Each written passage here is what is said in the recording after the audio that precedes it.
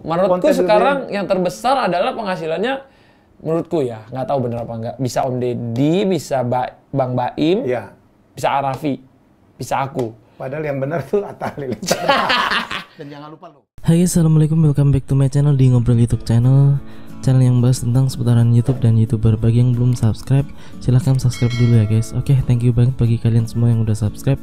Langsung saja guys, di kesempatan kali ini gue bakalan membahas tentang channel YouTube Atta Halilintar gitu ya guys. Tepatnya mereview gaji dari Atta Halilintar dari YouTube untuk saat ini gitu ya guys sekarang Atta Halilintar ini sudah mencapai 25,3 juta subscriber.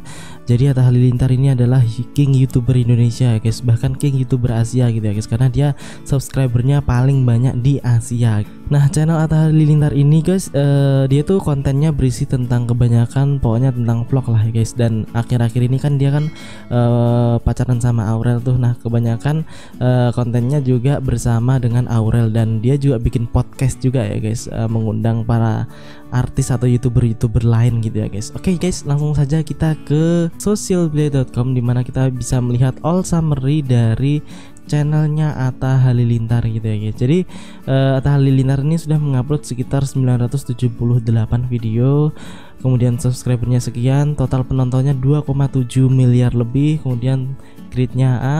Kemudian dalam waktu satu bulan Atta Halilintar bisa menghasilkan 500.000 subscriber eh dalam 30 hari juga dia bisa menghasilkan 109 juta penonton gitu ya guys. 109 juta lebih penonton.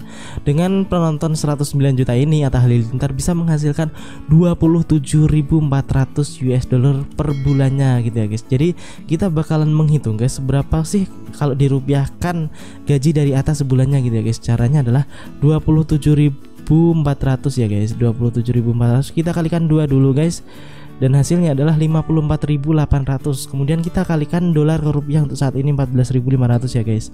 Dan hasilnya adalah wow 794 juta 600 jadi guys eh, kesimpulannya di sini Atta Halilintar itu bisa menghasilkan uang dari YouTube per bulannya itu sekitar 790 jutaan gitu ya guys. Jadi ya itu menurut gue sih udah banyak banget untuk ukuran youtuber udah banyak banget ya guys. Karena Atta Halilintar ini masuk ke dalam jajaran youtuber dengan gaji tertinggi di Indonesia gitu ya guys. Selain eh, Baim Wong kemudian Raffi Ahmad juga Just No Limit dan lain-lain. Oke seperti itu dulu guys video gua kali ini info dari gua. Thank you very much for watching. Silahkan tuliskan komentar kalian di bawah. Jangan lupa like comment dan share. Assalamualaikum warahmatullahi wabarakatuh and bye bye